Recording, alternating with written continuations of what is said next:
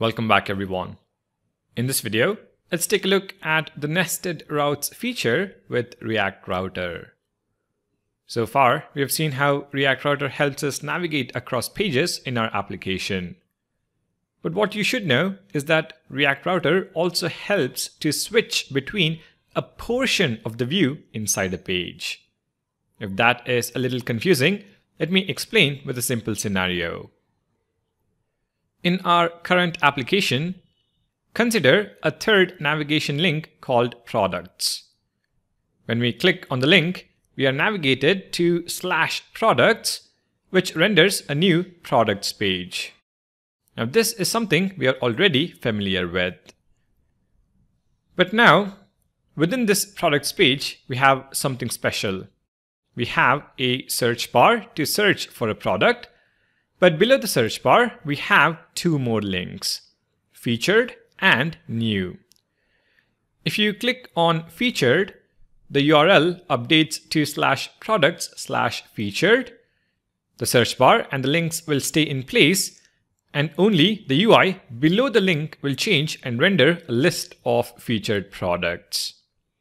If you click on new, the URL changes to slash products slash new the search bar and links will stay in place, but the list of featured products is switched with a UI that renders a list of new products. As you can see, only a portion of the UI changes based on the route. To achieve this, we make use of nested routes. Let's head back to VS Code and understand how it works one step at a time. Step 1, we are going to configure a new route to the products page and add a link in the nav bar. So within the components folder, create a new file called products.js. Within the file, create a component that renders a search input. So input type is equal to search and placeholder is equal to search products. In app.js, add a new route. So route path is going to be equal to products and element is going to be equal to the products component we have just defined. Make sure to import the component at the top. In navbar.js, add a third link to slash products. So copy the about link, paste it, and change slash about to slash products and about text to products.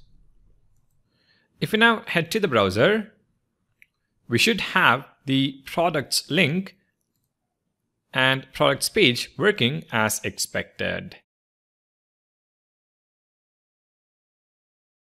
For step 2, we're going to add another set of navigation links within the products component. So I'm going to wrap with fragments and add a nav tag.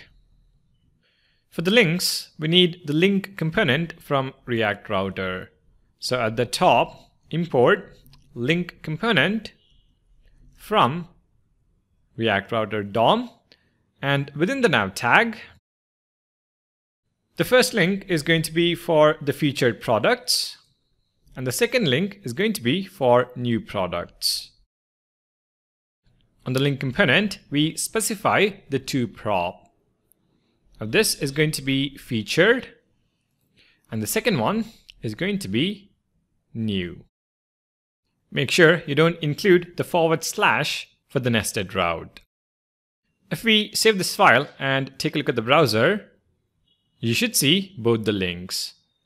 However, we have the same appearance as the primary navbar, so let's make the style more specific. In index.css, I'm going to change the nav styling to a class selector. So dot primary nav and in navbar.js on the nav tag, add class name is equal to primary nav. If you save the file, Now we have a clear primary navigation and the new set of links. For step 3, we're going to create two new components that need to be rendered for featured products and new products and also configure the new routes. So back in VS Code in the components folder, create two new files. Featured products.js and new products.js. Within both the files, create a simple component that reads the corresponding text. List of featured products. Copy, paste, and change featured to new.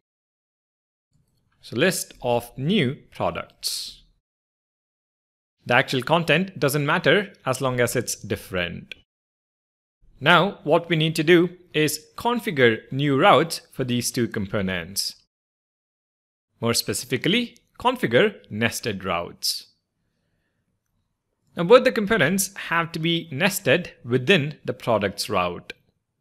For nesting, we're going to change route from a self-closing tag to one that has a closing tag. So opening tag and closing route tag. Within the opening and closing tags, we're going to define two new routes. So route path is equal to featured and element is going to be equal to featured products. Similarly, route path is equal to new and element is equal to new products. Make sure to import both the components at the top. Now what is special about nested routes is that React Router automatically forms the full path to the children routes. So featured is actually slash products slash featured and new is slash products slash new. We have now configured routes to render the child component within the parent component. That is, featured products or new products within the products component. However, the products page still doesn't know where to render the child component. For that, React Router provides an outlet component. So import it at the top and invoke it below the nav tag. And that is pretty much the code required. Let's test it out. In the browser, click on products and the URL changes to slash products. The products component is also rendered. Now click on featured. The URL changes to slash products slash featured and we see the list of featured products being displayed, which corresponds to the text from the featured products component. Click on new and the URL changes to slash products slash new and the new products component is rendered. We are able to change only a portion of the UI in the same page whenever the URL changes. This is how nested routes feature works with React Router. Let me summarize what we have done. We first created a products component and configured a route for the same. Path is products and element is the products component. We then added a link in the navbar to navigate to the products page. We then created two more components for featured and new products. But this time, we configured the routes to these components as nested routes. We did that by including the route component within a route component. Since the parent route component path is products, the child component path will automatically have the parent path as a prefix. So the new routes become slash products slash featured and slash products slash new. But the parent component needs to know what to do with these child components in the routes tree.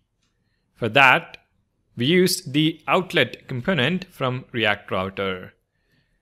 The outlet component renders the component corresponding to the matching child route from the parent list of routes. Nested components, as you can see, is very powerful. One of the common use cases of doing this is to have a common layout for a feature in your application. The parent route will render the layout component, if you can call it that, and within the layout component, use the outlet component to render different child components. Alright, thank you for watching. Make sure to subscribe to the channel and I'll see you in the next video.